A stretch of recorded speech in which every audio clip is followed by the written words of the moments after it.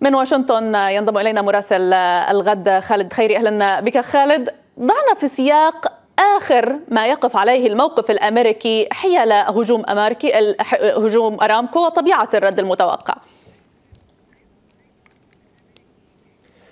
نعم لينا. آه، ربما الرد الأمريكي آه، يتمهل قليلا حتى الآن ولكن هناك عدة خيارات موجودة على الطاولة. ناقشها مايك بنس نائب الرئيس خلال اجتماع مجلس الأمن القومي الأمريكي وأيضا مع كبار المشرعين الأمريكيين من الحزبين الجمهوري والديمقراطي. الخيار الأول هو ما ذكره الرئيس دونالد ترامب منذ قليل وهو تكليف وزارة الخزانة بفرض عقوبات جديدة قاسية على النظام الإيراني. الخيارات الأخرى منها العسكري مطروح على الطاولة. الولايات المتحدة تنتظر ما سيستمع إليه مايك بومبي وزير الخارجية من السعودية ومن الإمارات اليوم حول هذا الهجوم الإرهابي. وبالتالي الولايات المتحدة بصدد يعني اتخاذ القرار إما بشن ضربات عسكرية محدودة كما صرح بذلك عدد من المسؤولين في الإدارة الأمريكية وإما تكوين تحالف لعزل إيران وإدانتها في مجلس الأمن والأمم المتحدة التي تعقد تعقد آه، الدورة الرابعة والسبعين خلال الأسبوع المقبل. إذا الولايات المتحدة لا تستبعد أي من الخيارات بما فيها الرد العسكري المحدود داخل الأراضي الإيرانية كما ذكر أحد كبار المشرعين لينزي جرام ويدعو الإدارة لضرب آه، منشآت نفطية إيرانية وضرب آه، مراكز للحرس الثوري الإيراني الذي تصنفه إيران كمنظمة إرهابية. نعم آه، خالد يعني آه، تابعنا قبل قليل المؤتمر الصحفي لوزير آه، الدفاع السعودي بالدلائل التي تتحدث عن الطائرات الإيرانية التي استهدفت موقع أرامكو هل سيسرع ذلك من الرد المحتمل أمريكيا؟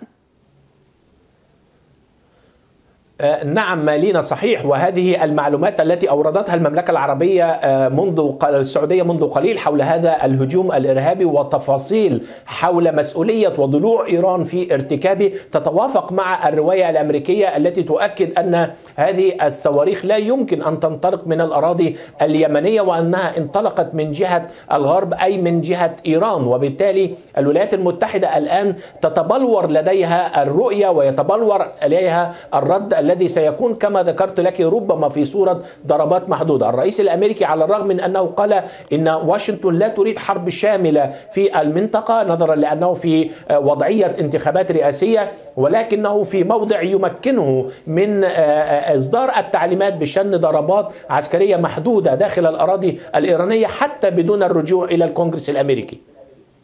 طيب على ضوء هذه الزيارة لوزير الخارجية ما هي خيارات الرد المحتملة آه، بحسب ما يدور بالأوساط الأمريكية خالد؟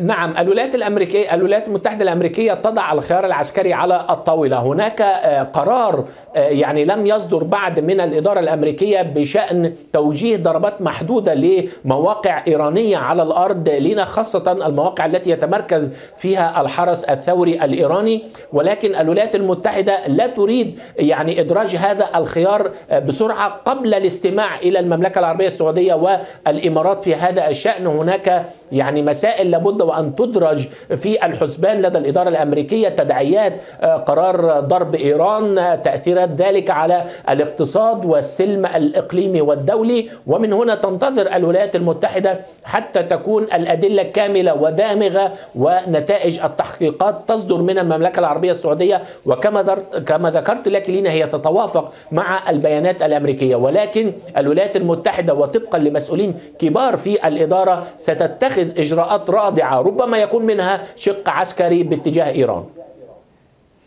شكرا جزيلا لك خالد خيري مراسلنا من واشنطن.